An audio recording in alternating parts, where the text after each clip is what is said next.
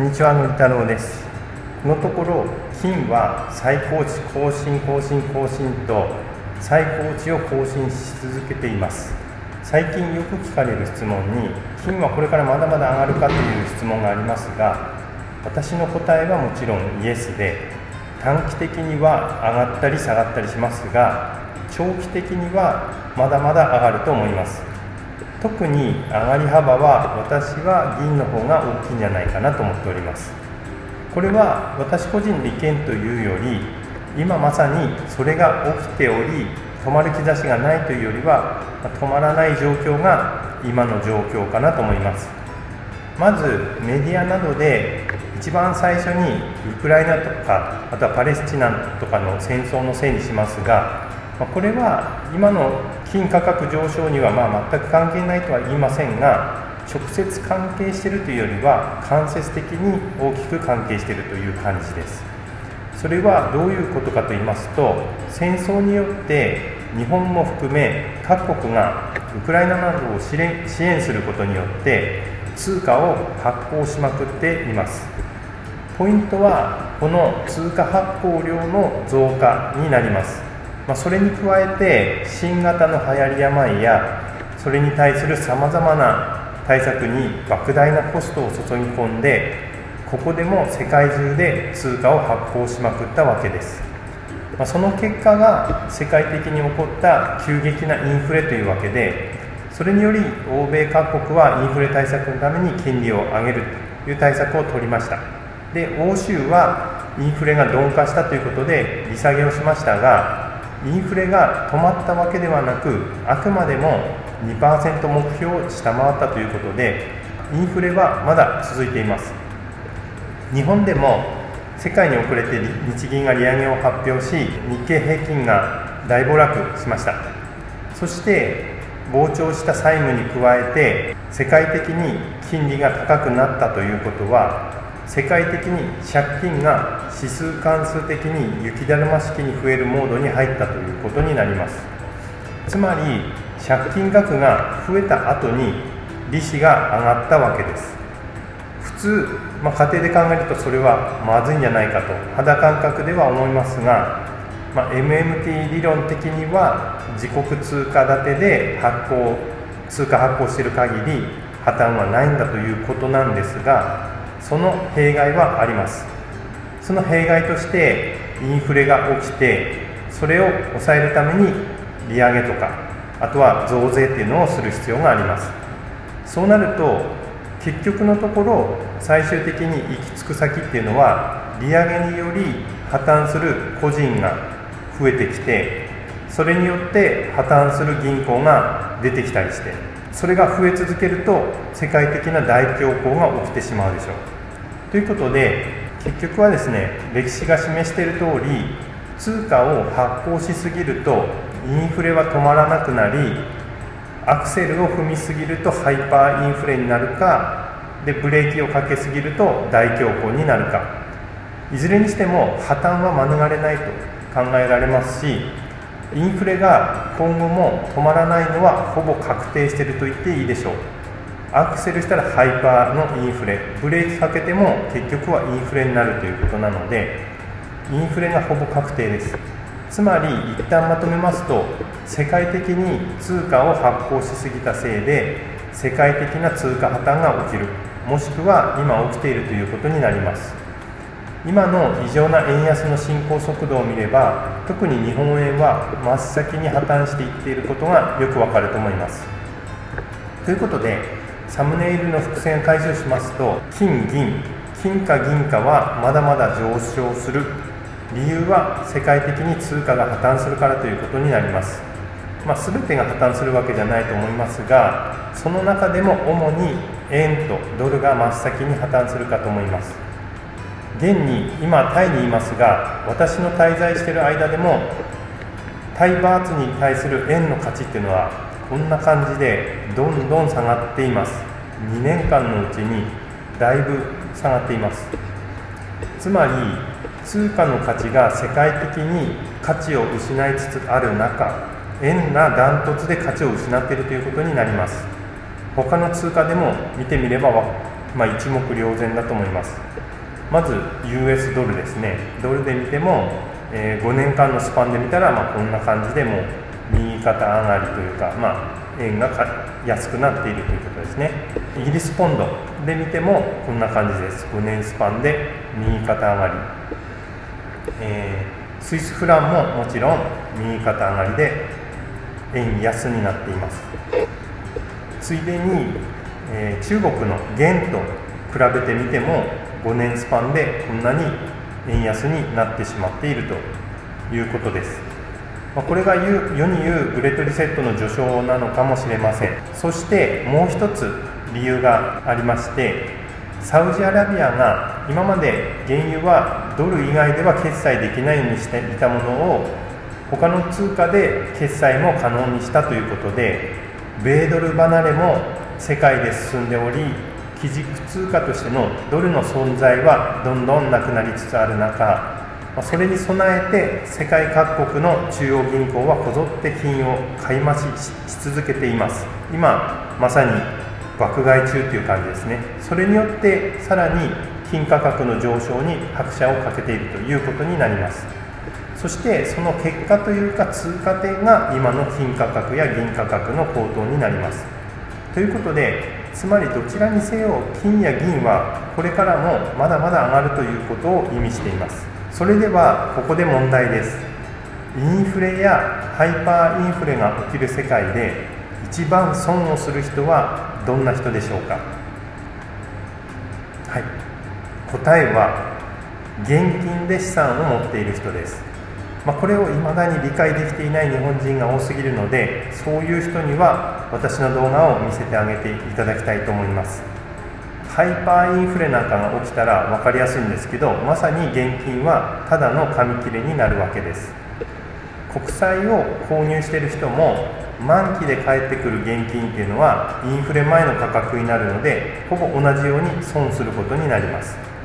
それでは逆に得をする人はというともちろん現物資産を持っている人になります。あとは借金をしている人も得をしますが金利が上がるのでまあ結局は苦しいことには変わりないと思いますので借金をせずに現物資産を持つというのがやっぱりベストかなと思います。そうなるとやはり金銀の現物資産や金貨銀貨つまりアンティークコインとかモダンコインというのはこれからどんどん上がることになります。ただハイパーインフレなどになった時はもうコインなどは一般の人はその国では買うことができなくなります。日本で買えなくなる日がもしかしたら来るかもしれないです。ただコインコレクターというのは世界中にいますのでその時にハイパーインフレになっていない国があればそこのオークションで売るしかないと思いますが世界中で通貨がリセットされたらどうなるかは分かりません。ただしその局面が起きる途中の過程でコインにやっぱり人が殺到して奪い合いになるということが起きれば一度火がつけばコインが枯渇してさらにコインの価値は増すということになると思われます。まあ、モダンコインは全然ダメだとおっしゃってる方はその時になってまあそんなことはなかったんだなっていうことになるかなと思っておりますし今無断コインを売り急いでる方はちょっと待っていただきたいんです、まあ、この局面が起きるまで保持しておいて、えー、その後どうなるか見ても遅くはないかなと思います。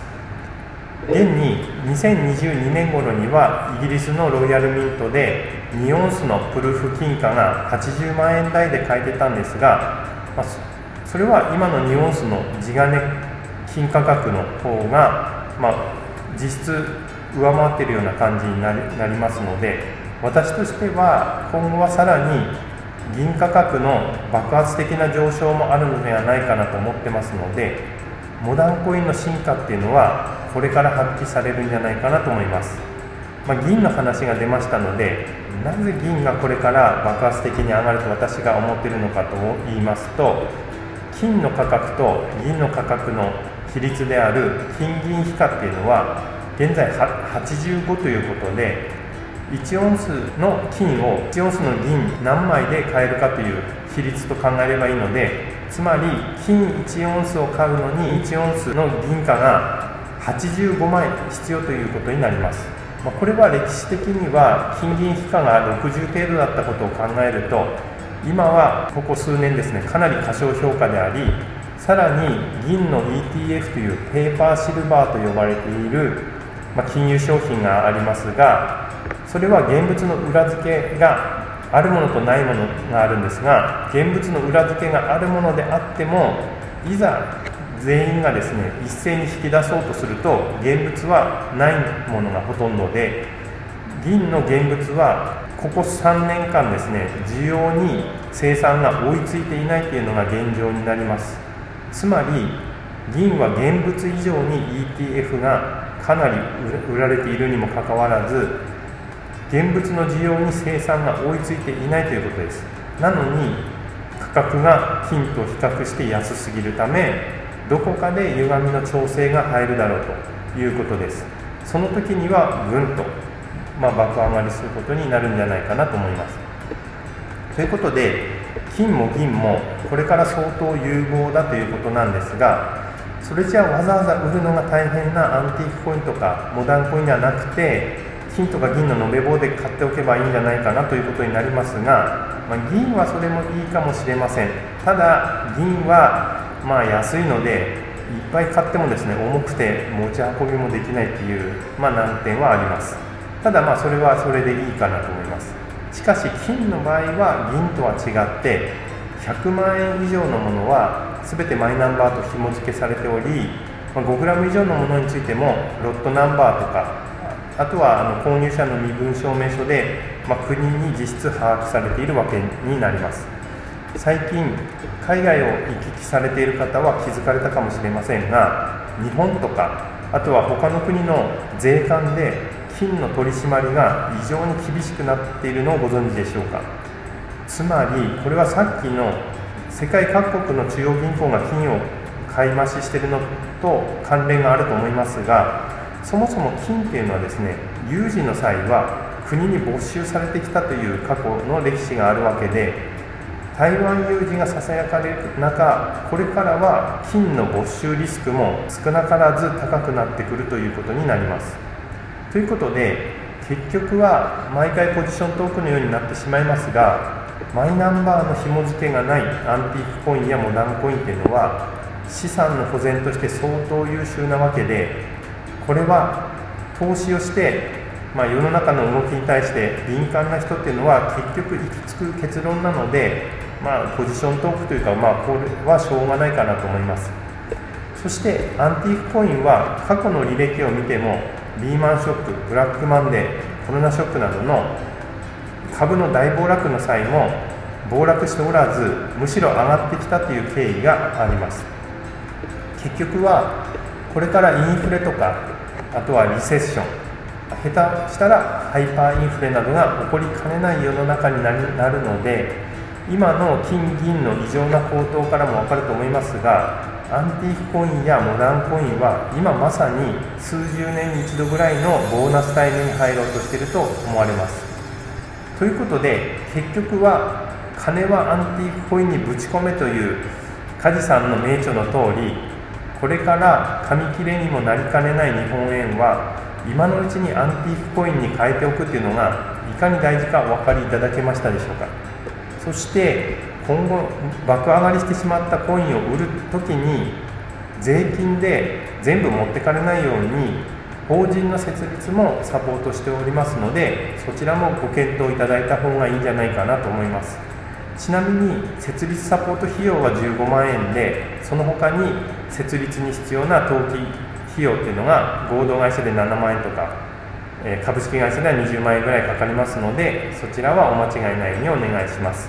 その代わりサポート費用15万円は、まあ、速攻で回収できるようないろいろ節電のためのノウハウもガンガンお伝えしたりしてますので、まあ、そこも込みでのサポートになるかと思います。その辺はビジネスを経験されてない方は価値が分かりづらいところではあると思いますが、まあ、積み上げると後々天と地ほどの差がついてしまうものになります。アンティークコインはそれだけ利益が出てしまうものですので税金はうちに対する罰金という格言もありますので税金のことも出口戦略のことですね。もう随時発信していきますので、まあ、次回もお楽しみにしておいてください。で最後に告知になります。で来月2024年の11月からアンティークコインとかお金の本質の話。でそれにまつわる税金の一般的な話など